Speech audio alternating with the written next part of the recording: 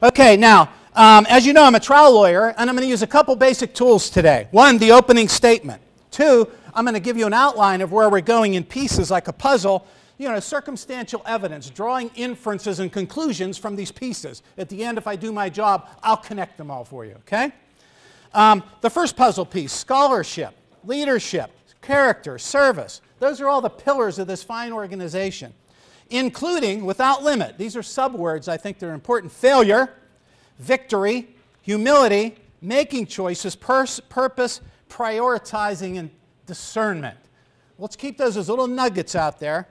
Caveat all of those wonderful concepts are under the constant and persistent negative erosion coming from things that include, without limit, a lack of faith, a fear of criticism, ego, and lack of humility.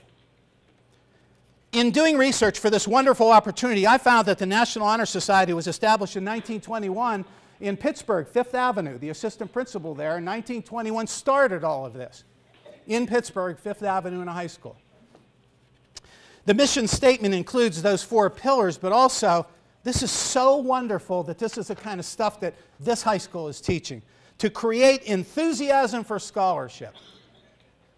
My father did it with a knuckle sandwich um, to stimulate a desire to render service, promote leadership, and develop character in secondary school, school students.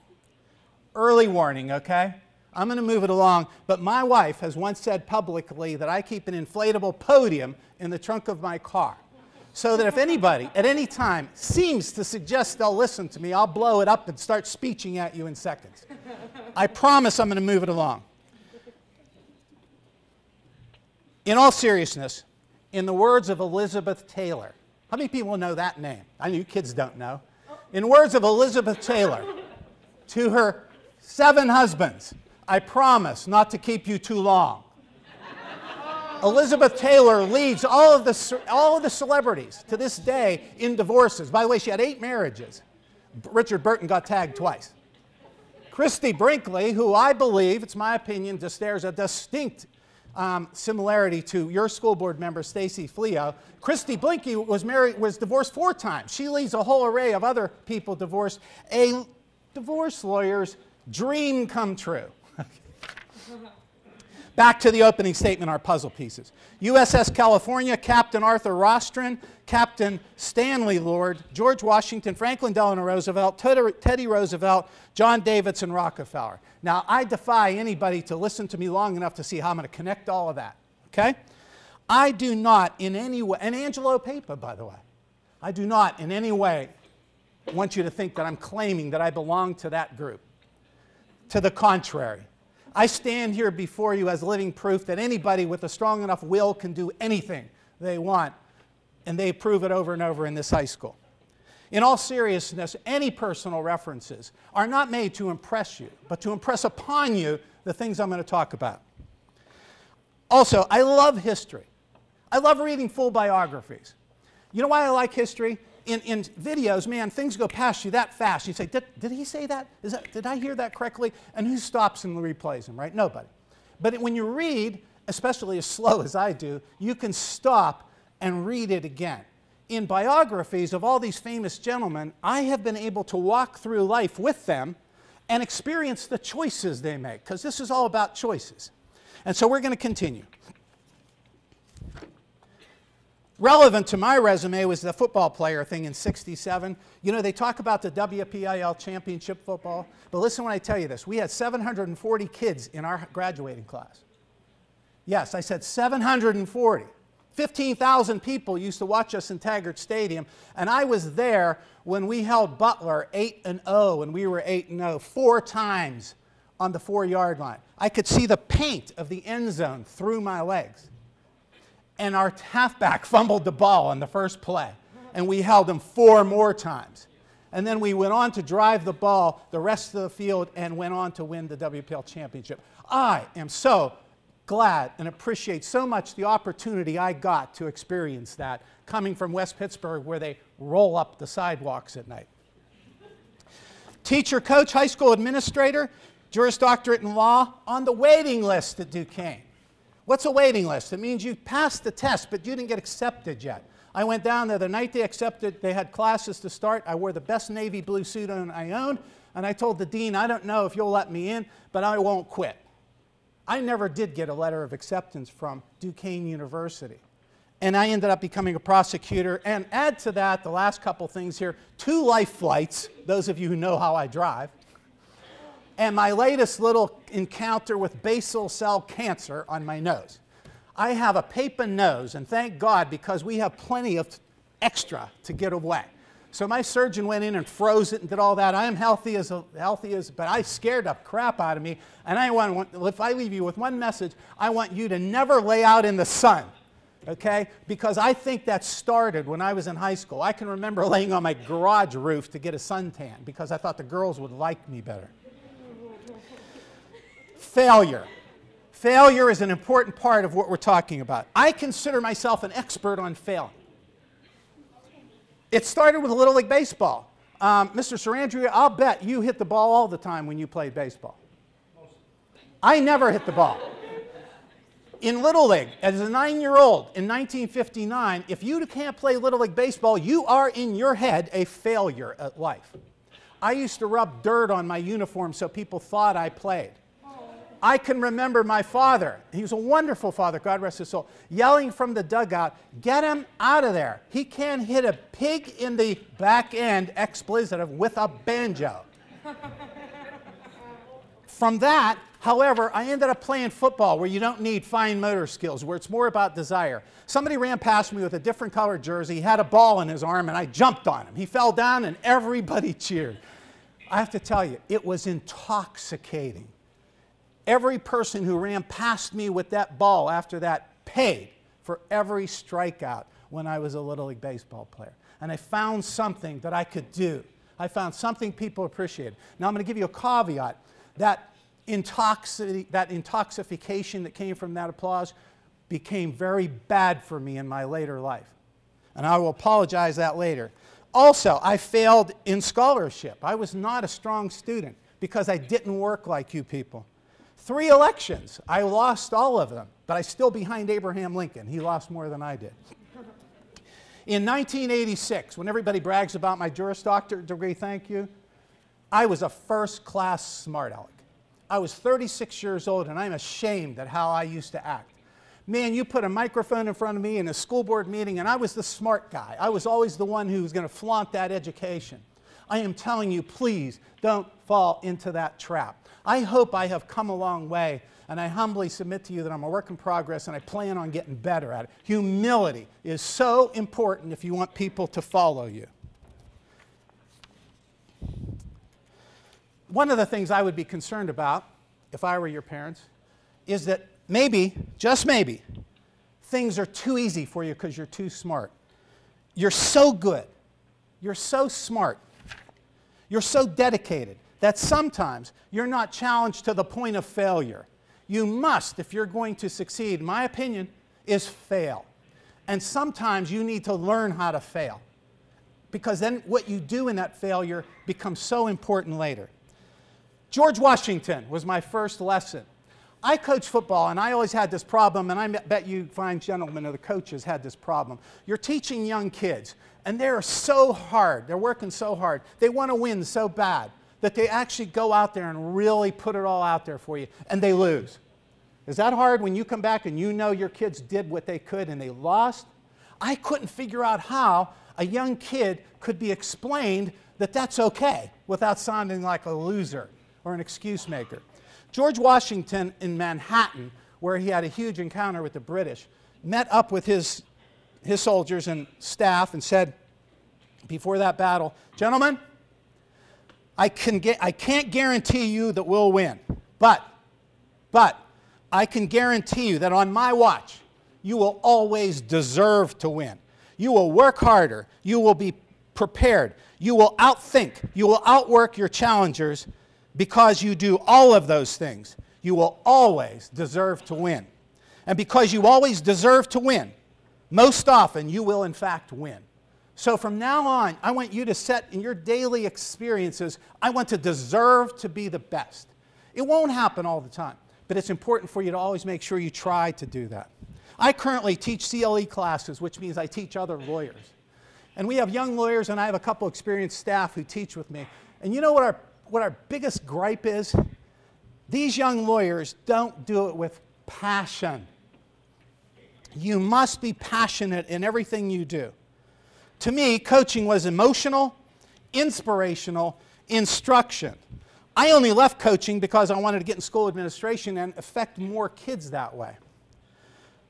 You know, and I was afraid because when I left here, I left behind 10 years of seniority and I went to Shenango High School and I was filling in for somebody. John Greenleaf Whittier. Do you know who he is? Neat little saying. For all the sad words of tongue and pen, the saddest are these. It might have been. You make sure, you adults, if you talk to your kids about anything, you tell them that over and over again. In basketball, your players will miss 100% of the shots they never took. And so you need to be out there and do something. I did it. And I went to Shenango. And guess what? I was filling in for somebody who was on sick leave, and he came back. and I said, Whoa, what am I going to do now? I had two kids, I had a wife, and I had a house to pay for, and all that stuff. Now, they gave me a job, but this is another little moment in our little journey here. They gave me a job, but they gave me this cushy job that I hated. You need to be passionate about what you do, and if you can't be passionate about what you do, you're doing the wrong thing. So I actually ended up by accident in law school. I think that God uses coincidences to remain anonymous. I, can, I was talking to my colleagues up there and I was telling them how I ended up in law school. My last, next nugget is three ingredients for success, I believe vehicle, will, dream. Like a three legged footstool, if any one of them are missing, you will not be successful. First of all, you have to have a vehicle. Law school was my vehicle uh, Mr. Sarandrio's education and his coaching success and all of your fine professionals here was their vehicle. Okay? The next thing you have to have, however, is a dream. A dream is a mental blueprint, a snapshot, a glimpse sometimes as fast as a high speed shutter on a camera. But without that, you don't have any vision. Without that, you can't sustain it during the dark times when you need to stay committed. And lastly, the will, the work ethic the iron will to do today over and over and over what your friends won't do to have tomorrow what they will never have. And with those three ingredients, you will become successful. And that's when you have to not be a smart aleck at age 36 like I was and think you're successful. That's when the humility comes in. Winston Churchill, one of the most famous men in world history, they once were interviewing him just before he passed away, and they told him how does it feel to be the, land, the Lion of Flanders? He said, Young man, the people who died at Dunkirk, the people who died on the beaches in Normandy, the people who died in the streets of Britain with the Blitzkrieg and the V 2 rockets, they were the Lion of Flanders. I was nominated to deliver the roar. That to me is what a great expression of humility. With that humility, people respect you and they'll follow you. Um, Self employed, you must learn to prioritize. I'm moving along here and I'm skipping some stuff on purpose. I believe that at age 67, some people say, I can't believe he's 67. Thank you. Somebody said it up there. I am 67. I was born in 1950. And I got a lot of hard years on me, by the way. But I can tell you this it's my belief that I have been envisioned, empowered, energized, and kept healthy because I have a purpose that's bigger than me or my family. And so you need to adopt a purpose. As we close, I want to warn you about the three basic enemies of success. As we close, please pay attention to these enemies. First and foremost is fear. Fear is very destructive. At the extreme, it can be debilitating. As an amateur historian, I have always been frustrated about how quoting Franklin Delano Roosevelt is slashed and they cut off the worst part.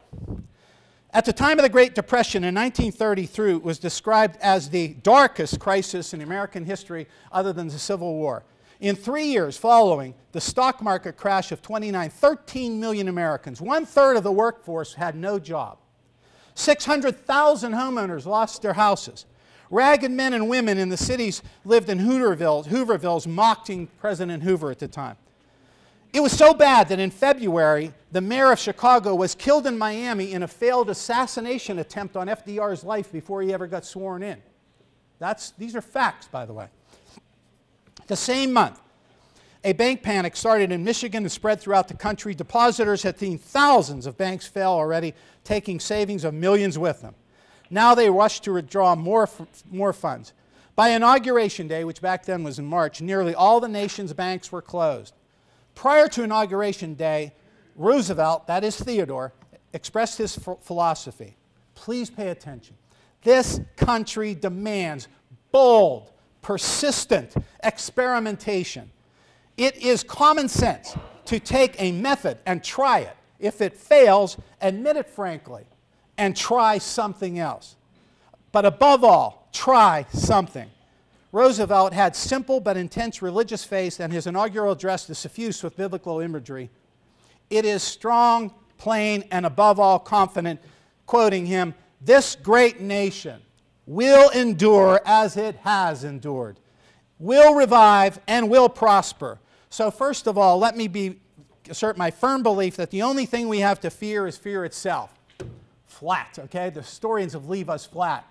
This is so important, the rest of this nameless, unreasoning, unjustified terror, which paralyzes needed efforts to convert retreat into advance.